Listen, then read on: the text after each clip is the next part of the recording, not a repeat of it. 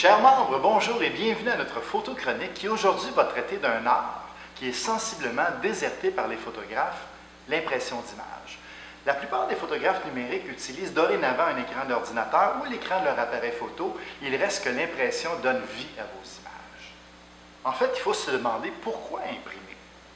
L'impression, en règle générale, va servir à l'archivage ou encore à garder des souvenirs, à encadrer, à meubler nos murs.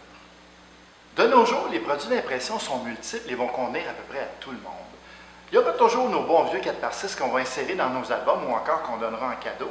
Il y aura des 5 7 et des 8 10 qui sont les agrandissements de type classique.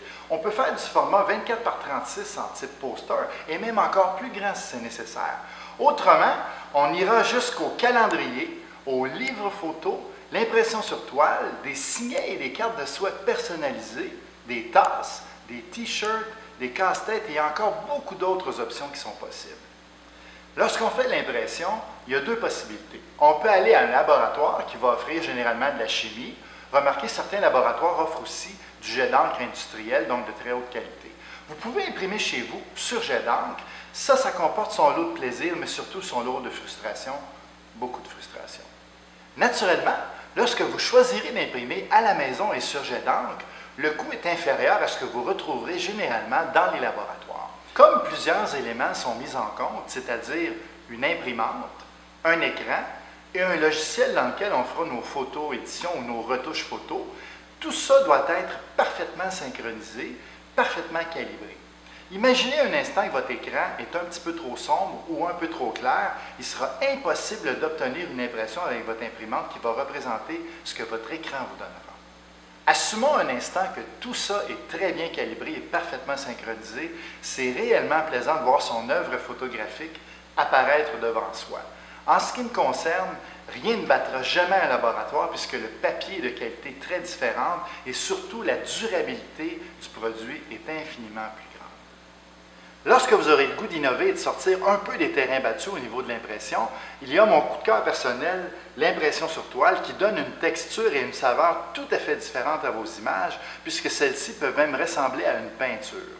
Ce qui est intéressant, c'est qu'on n'est pas obligé d'utiliser un fichier de très gros format. Comme dans le cas de ce 16 pouces par 20 pouces, on a utilisé un fichier de 2 millions de pixels. On a donc besoin d'un peu moins de détails pour reproduire une image de très bonne qualité. C'est également monté sur un faux cadre donc en bois, ça tient au mur et ça tient très bien. Ce qui est intéressant, c'est que ce type de toile est aussi également résistant à l'humidité et à l'eau. On peut donc le mettre même dans une salle de bain sans aucun problème.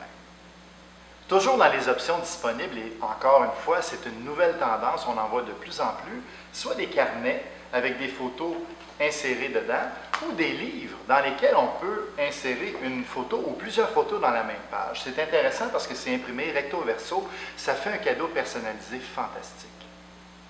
En conclusion, peu importe le produit d'impression que vous allez choisir, il y en a vraiment pour tous les goûts et toutes les personnalités.